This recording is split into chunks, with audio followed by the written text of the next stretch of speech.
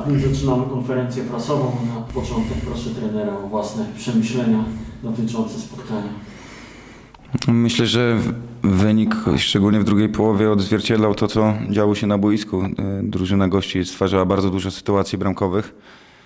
E, Fakt, że my też byliśmy groźni, szczególnie w pierwszej połowie. To był taki mecz do, do pierwszej bramki. Kto pierwszy bramkę strzeli, ten, e, ten wygra i wygra wysoko, bo dwie drużyny bardzo otwarto piłkę grały, tak więc szczególnie w pierwszej połowie wymiana za wymianę, cios za cios. E, No niestety, przegrywamy Mm, No trudno, na pewno chłopcy mogą z podniesioną głową e, po meczu chodzić, bo zostawi, zostawili wiele zdrowia, e, wiele serca na boisko. No taka jest piłka, nie zawsze można wygrać. Jakiego składu gości trener się spodziewał przed tym spotkaniem? Czy, czy mieliśmy jakieś informacje, że drużyna z Siedlec może przyjechać wzmocniona zawodnikami z pierwszej ligi, czy jakoś specjalnie były ten, pod, ten, pod tym kątem przygotowania prowadzone? To znaczy nie, no mm, wiadomo, że drużyna Pogoni pierwszej ma szeroko kadrę, wiadomo było, że ktoś przyjedzie grać, za bardzo nie analizowałem nazwiskami e, tych ludzi, co przyjadą, bo nie było sensu, no obojętnie kto by tu nie przyjechał, chcieliśmy wygrać mecz, tak więc czy to by byli z podstawowego składu z pierwszej drużyny, czy z rezerw, to dla nas bez różnicy było. Y, Dzisiaj Maciej Staszczuk na prawej obronie to było chyba największe zaskoczenie tu na trybunach. Y, Wszyscy kibice zauważyli, że to zawodnik typowo ofensywny, natomiast dzisiaj, dzisiaj prawy obrońca. Y, Jak ocenia trener jego występ i kiedy ten pomysł się zrodził, żeby, żeby właśnie Maciek na prawej obronie wystąpił? To znaczy pomysł e, musiał się zrodzić i to zrodził się w czwartek, ponieważ Dzbański ma uraz, musiał odpocząć 5 dni.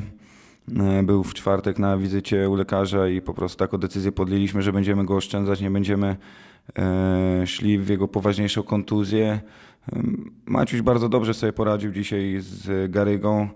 E, Myślę, że bardzo przyzwoity mecz zagrał. No cóż, wiadomo, no nie jest on obrońcą, tak? Nie jest obrońcą, ale poradził sobie.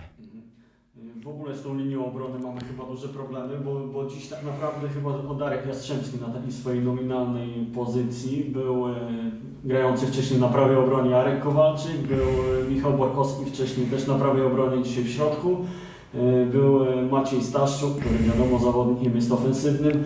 E, jak duży to problem dla, dla trenera, że trzeba tak kombinować, tak zestawiać tą, tą obronę? Nie, na pewno przed sezonem e, myślałem, że w ogóle będziemy w innym zestawieniu obrony grali. No ale sytuacja w klubie i w drużynie no, wymaga pewnych rotacji. Musimy gdzieś łatać te dziury. Nie jest to łatwe na pewno i dla chłopaków, którzy grają, i dla mnie.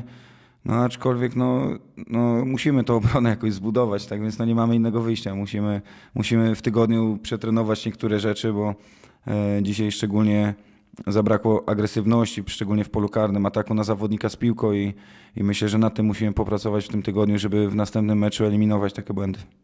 Następny mecz z Mazowią, Nic Mazowiecki, kolejny trudny y, przeciwnik. Y, czego się spodziewamy po tym spotkaniu wyjazdowym? No, To znaczy w tej lidze nie ma łatwych meczów, tak więc tak samo i Mazowia e, jest dobrą drużyną, to będzie na pewno ciężki mecz dla nas. Postaramy się w tygodniu gdzieś odrobić tą pracę domową, której nie udało, nie zdążyliśmy teraz zrobić. e, Postaramy się wyciągnąć wnioski z tego meczu po prostu. Trener ma doświadczenie także z boiska, więc zapytam, czy taka porażka 0-3 tutaj na własnym stadionie, pierwsza porażka na własnym stadionie w tym sezonie może pozytywnie wpłynąć na zespół, że ten zespół zacznie e, inaczej reagować i w tym kolejnym wyjazdowym meczu pokaże się z zupełnie innej strony?